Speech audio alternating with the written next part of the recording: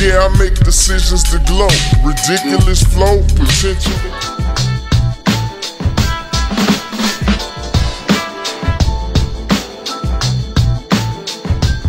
She blew a bag of the doctor, thick, thick, like she eat cornbread and pasta. Yeah, yeah my type of don't need now. now. She got a boutique and a cold figure. Damn. You know she young, gotta own it. Yep. And she gon' keep a few with her. Yep. Be salty, so they be subbing her. Sub. Be thirsty, want well, she on her for real. for real. Got a done, but it look real.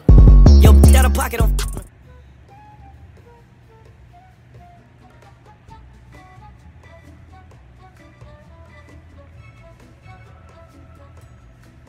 Yeah, we're gonna have to discuss this, man. Um, so yeah, I completely missed the Verzuz, right?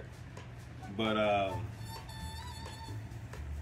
yeah, we're gonna have to discuss this. Uh, I ain't gonna speak on it right now, but we're gonna touch on this Verzuz in, in a moment, right? And uh, just to add on to that, man, um, Omarion, like he is forever like he's gonna win that trophy for the most unbothered artist in the history of R&B, whatever you want to call it, the music industry.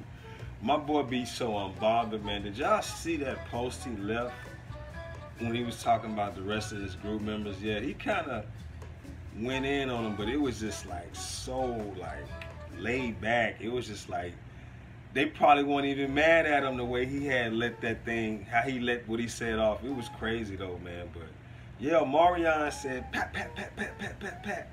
He had to get him back. You feel me? So y'all let me know how y'all feel about uh this Omarion post, man. It's crazy, right? I mean, y'all think they had it coming? Do they deserve it? How y'all feel about it, man? Y'all think Omarion got screwed over? I mean, how y'all feel? Let me know in the comments. You did.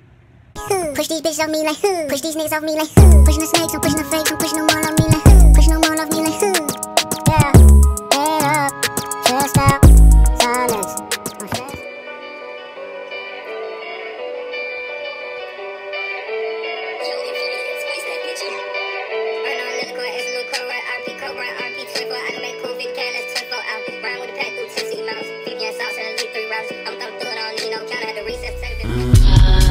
Yeah, I make decisions to glow. Ridiculous flow, potential to